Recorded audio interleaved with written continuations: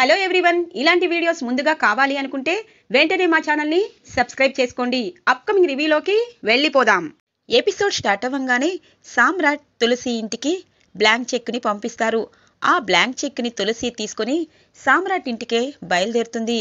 సామ్రాట్ ఇంట్లో అడుగు పెట్టంగానే హనీ పాప భోజనం తినకుండా లంచ్ బాక్స్ని ఇంటికి తీసుకుని వచ్చేస్తుంది. సామ్రాట్ ఆ పాపని బ్రతిమలాడుతూ ఉంటారు. ఇంతలో తులసి వెళ్ళి అమ్మా హనీ అని అంటుంది. ఒక్కసారిగా పాప చాలా సంతోషపడుతుంది. పాపకి కబుర్లు చెప్తూ భోజనం తినిపిస్తూ ఉంటుంది. తులసి చూడు సమ్రాట్ తులసి మంచితనం. నువ్వు ఎంతగా తన్ని అవమానించాలనుకున్నా తను మాత్రం ప్రేమగా పాప దగ్గరికి వచ్చి భోజనం పెడుతుంది. ఎందుకో?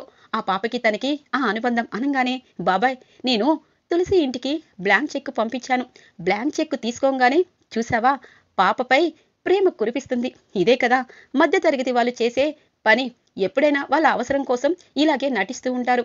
అవసరం తీరిపోయాక ఏదైనా చేస్తారు అన్నదానికి ఇదిగో ఇంకొకసారి నీకు సాక్ష్యంగా ఈ తులసి కనిపిస్తుంది అని చెప్పి అంటూ ఉంటారు సామ్రాట్. ఇక బాబాయికి ఏమీ అర్థం కాదు.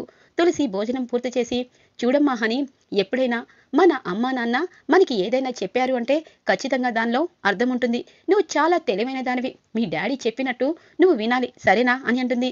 సరే మీ డాడీకి ఎప్పుడు ఖాళీగా ఉందో కనుక్కోవాలి. అప్పుడు బయటికి తీసుకువెళ్ళమని చెప్పాలి. అప్పుడు మీ డాడీ నీ మాట కాదనకుండా బయటికి తీసుకువెళ్తారు. సరేనా?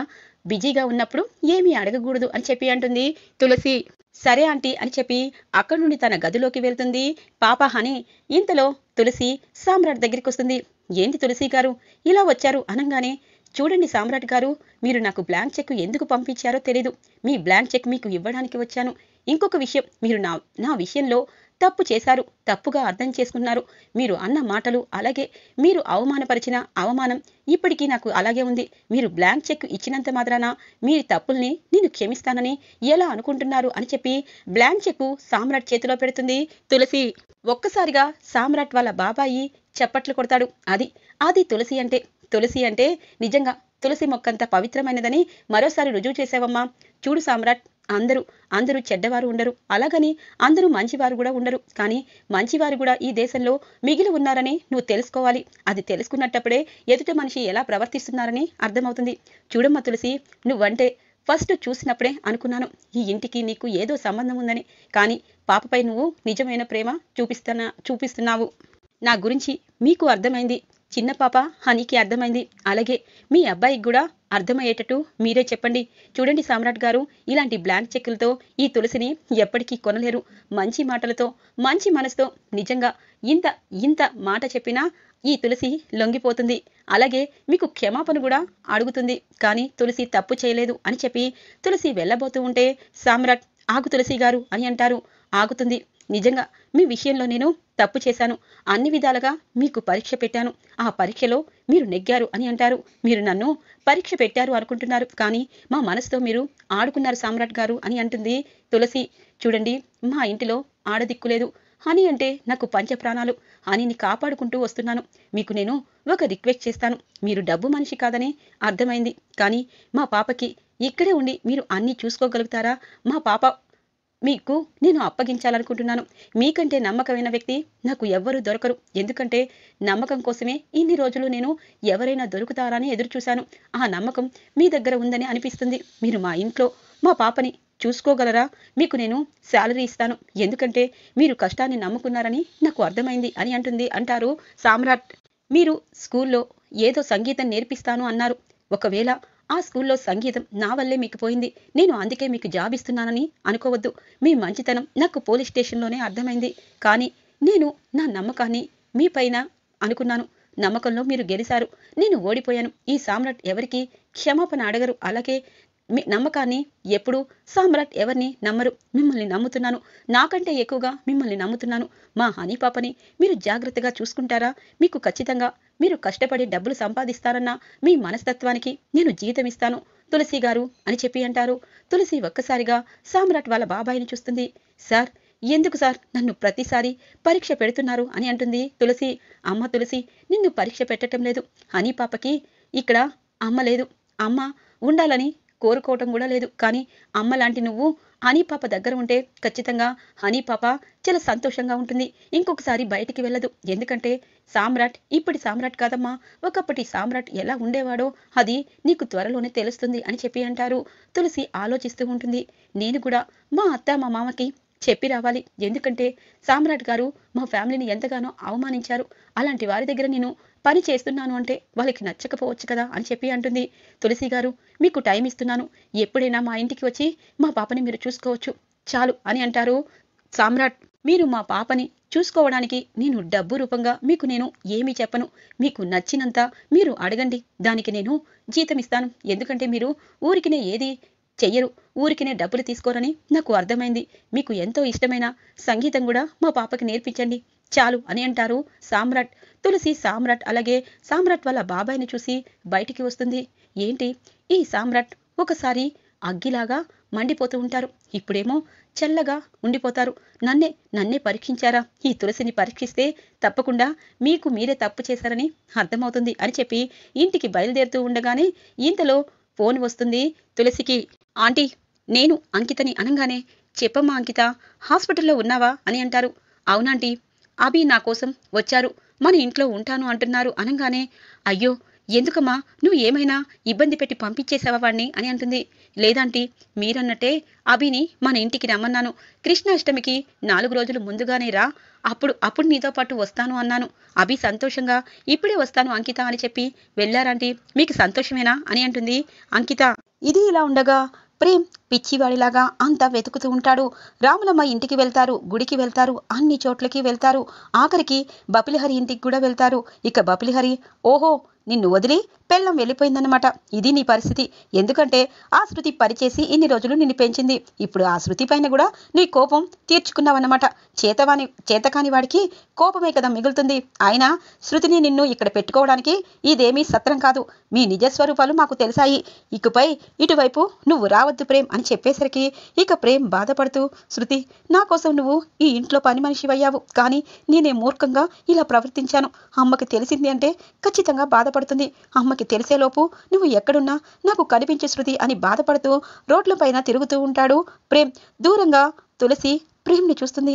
ఏంటి? ప్రేమ్ ఇలా ఉన్నాడు? అసలు వీడేంటి? రోడ్డు పైన ఇలా ఏడుస్తూ ఉన్నాడు. అసలు ఏమైంది? ఆల్బమ్ చేసుకుంటానన్న ప్రేమ్ ఇప్పుడు ఇలా రోడ్డు పైన ఉండడానికి కారణం ఏంటి? ఏమైనా జరిగిందా?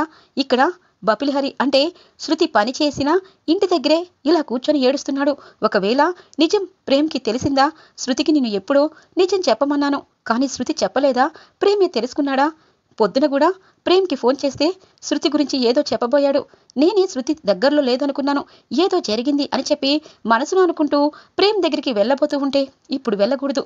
శృతికి ఫోన్ చేసి విషయం కనుక్కోవాలి అని చెప్పి శృతికి ఫోన్ చేస్తుంది. తులసి శృతి ఫోన్ చూసుకుంటుంది. అమ్మో ఆంటీ నాకు ఫోన్ చేశారు. ఖచ్చితంగా ఆంటీకి విషయం తెలిసిందా? బాధపడతారు. ప్రేమ్ ఒకవేళ చెప్పాడా అని చెప్పి ఫోన్ లిఫ్ట్ చేసేలోపు ఇంతలో తన మేనత్త ఇంటికి వచ్చిన శృతి తన మేనత్తకి ఫోను ఇస్తుంది.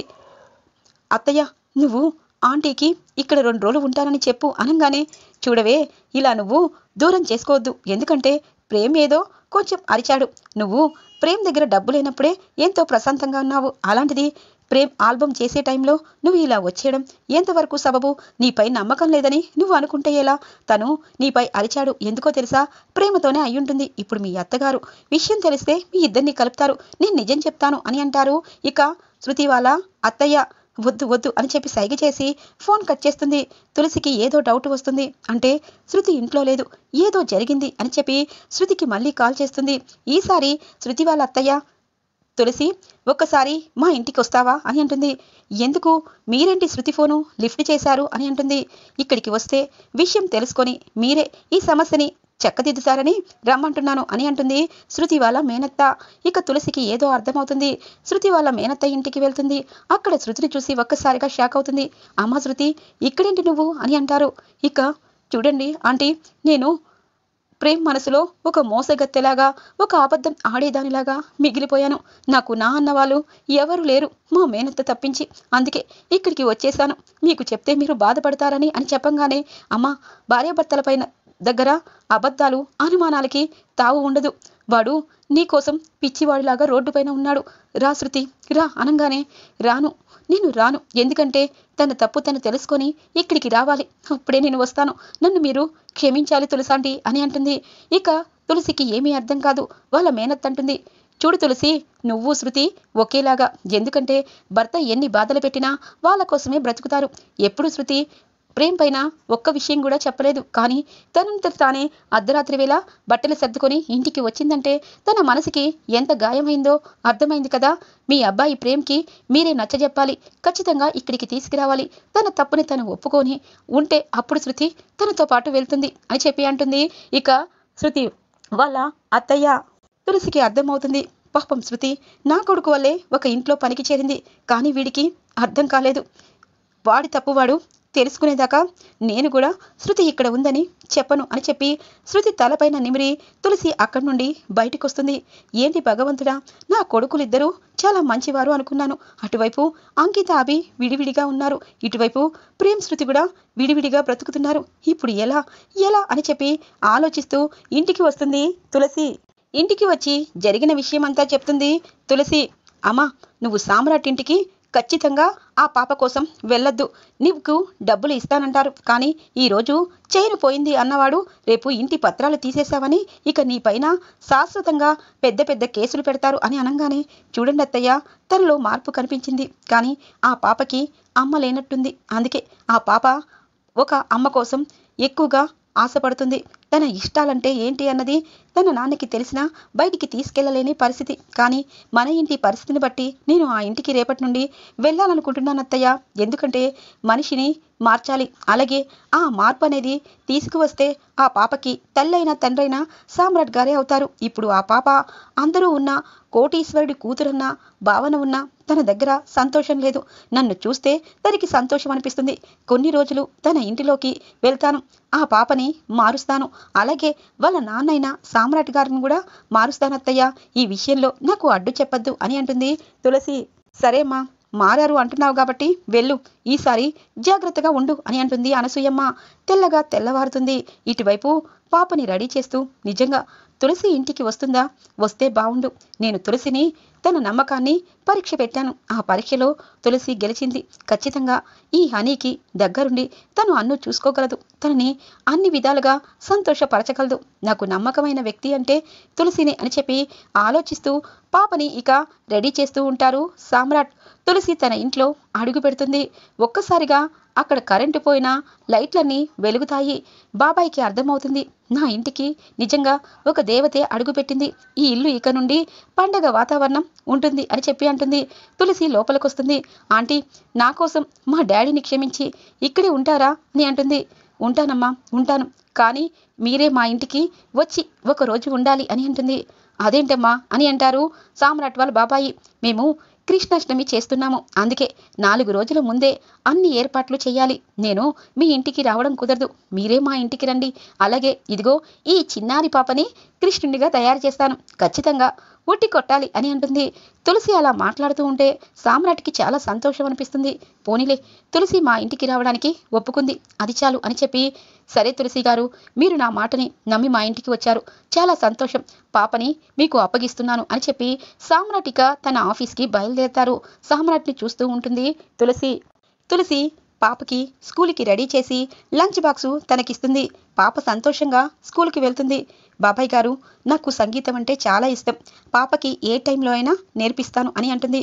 సరేమ్మా నువ్వు అనవసరంగా ఎక్కువగా ఆలోచించద్దు. పాపని చూసుకో అని అనగానే వంటగది నాకు తెలుసు. మీ అందరికీ ఇష్టమైన వంట చేస్తాను బాబాయ్ గారు. నాకు ఖాళీగా ఉంటే ఇష్టం ఉండదు అని చెప్పి అంటుంది. ఇక తన్ని చూస్తూ సరేమ్మా వంటగది అక్కడుంది అని చెప్పి అంటారు. సామ్రాట్ ఇంట్లో వంటగదిని చూస్తుంది. చాలా అంటే చాలా నచ్చుతుంది. ఇంత డబ్బులున్నా పాపం వండి పెట్టే దిక్కు లేదు. పని వాళ్ళతోనే పాపం వీళ్ళు అన్ని పనులు చేయించుకుంటారు అని చెప్పి ఇక వంటలు చేస్తూ ఉంటుంది. తులసి వంటంతా పూర్తి చేస్తుంది. ఇక సామ్రాట్ తన పాపని తీసుకుని ఇంటికి వస్తారు. తనకి ఎంతో మంచి స్మెల్ వస్తుంది. ఈరోజు ఆకలిస్తుంది బాబాయ్. త్వరగా లంచ్ చేయాలి అని అంటారు. తులసి టేబుల్ పైన అన్ని సర్దుతూ ఉంటుంది. ఒక్కసారిగా షాక్ అయిపోతారు సామ్రాట్. తులసి గారు మీరు మా పాపని చూసుకోవాలి. అంతేగాని మా ఇంట్లో ఈ పనులు మీరు చేయాల్సిన అవసరం లేదు అనగానే చూడండి సామ్రాట్ గారు నేను ఇంటికి వచ్చాను అంటే మీరంతా నా మనుషులు అనుకుంటాను. అందుకే ఇంటికి వచ్చాను. ఖాళీగా ఉన్నాను. వంట చేశాను. ఈరోజు నా వంట రుచి మీరు చూడండి. తర్వాత మీకు నచ్చితే చేస్తాను అని అంటుంది తులసి. ఇక అందరూ లంచ్ కూర్చుంటారు. తులసి ప్రేమగా వడ్డిస్తుంది. బాబాయ్ గారికి చాలా సంతోషం అనిపిస్తుంది. చాలా రోజుల తర్వాత అమ్మ చేతి వంట తింటుంది. ఇక హనీ పాప సామ్రాట్కైతే తన అమ్మ తనకి వండి పెడితే ఎంత ప్రేమ ఉంటుందో అంత ప్రేమగా ఆ భోజనం తింటారు. చాలా సంతోషం అనిపిస్తుంది సామ్రాట్కి.